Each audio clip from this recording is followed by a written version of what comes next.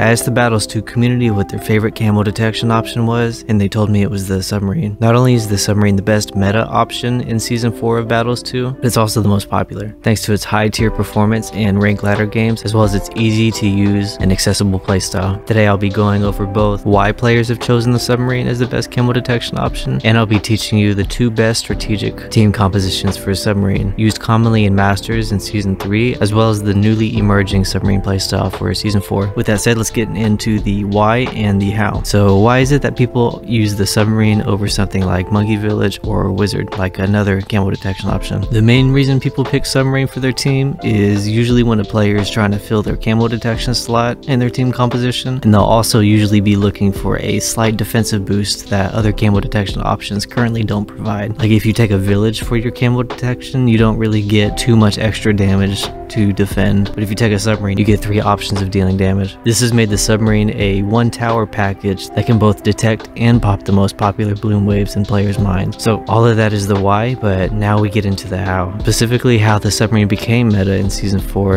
and the two best strategies or team compositions that have come from this. So first here's some of the history and then I'm going to update you on the season 4 strategy that came from this. Submarine has been used since season 1, however the first major expression of the submarine was first seen in season 3 after it received buffs to its damage in every single ability path. It eventually found itself in the team combination Druid Submarine Ice, or DSI for short. Druid Sub Ice was arguably the best strategy in the entire game because it was immune to losing the game for the first 33 rounds when you played it correctly, whereas most other strategies couldn't really hold around 29 FDDT all in, supported by the Season 3 Druid farming. For those that don't know, Druid in Season 3 was the strongest economic option in the game, and you could launch some of the strongest all-in balloon wave attack around round 26 to 30, winning just most of your games if you had Druid on your team. The amount of economy that you could get with this strategy was amazing, and I'm not going to talk too much more about it here because I've already made a full guide on how to play DSI, which I will link in the descriptions. So, the Season 4 updated variant of this. Druid was nerfed, making it a worse economic option, and so players started taking Tack as their early game option